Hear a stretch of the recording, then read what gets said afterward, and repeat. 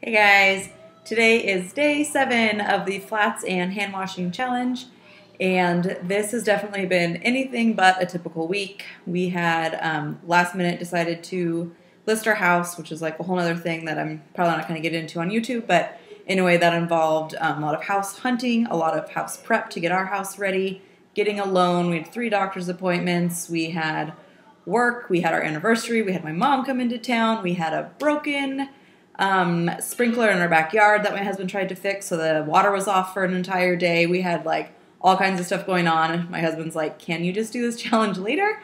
But I was like, "No. If this was really um, our reality, then we would have to keep washing diapers anyway." So I did it. I finished.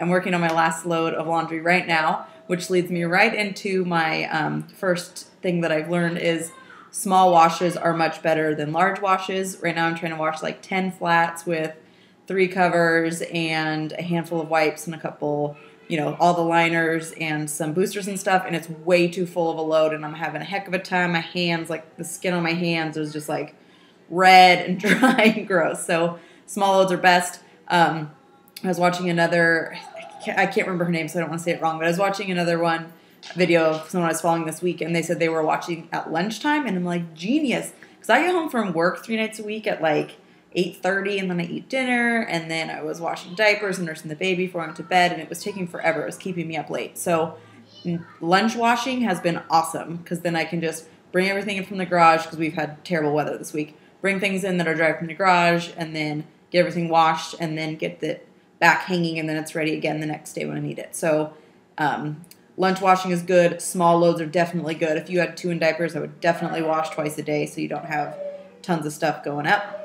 And then also another thing that I learned that was really good was um, I used to use wool a lot, and you would like roll the wool covers in a towel to like pre-dry them before you air dry them. So I figured why not do that with these covers, and it helps so much. Like the first day I didn't do that, and my covers were taking like 12, 15 hours to dry, like totally crazy because they were in the bathroom and it was cold in there and it's not enough air. So um, wrapping them in the towel and then putting them out in the garage or even like out in the living room or something, and they were drying like within a few hours. So that helped a lot.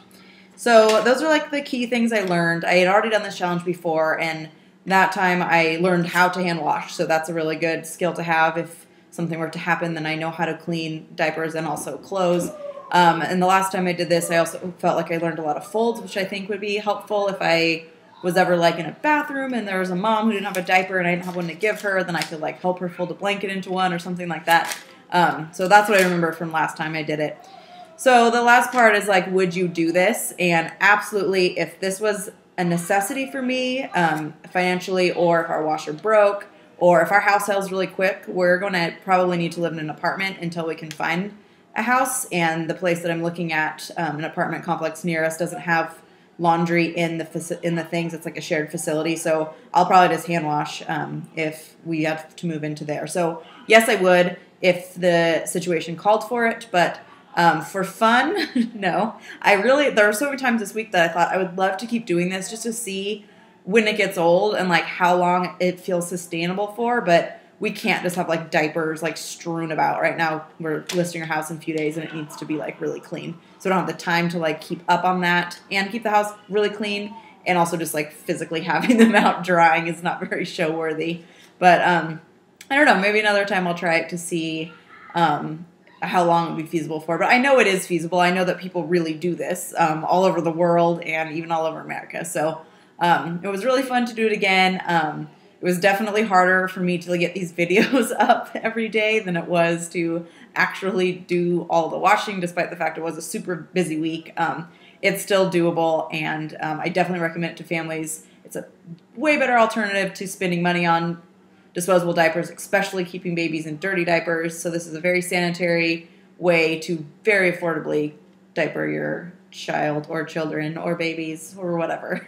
so um, high five to everyone who finished the challenge. Um, it's been really fun to watch everyone. I haven't really got to watch anything. I just watched one video today, so I want to um, go back and see what everyone thought of today as their final thing. So um, it was fun doing it with you guys. And um, if Fiona's in diapers next year, I'll do it again. But I have a feeling she's going to potty train earlier than that. But who knows? All right. Thanks for watching and following. Have a good one. Bye.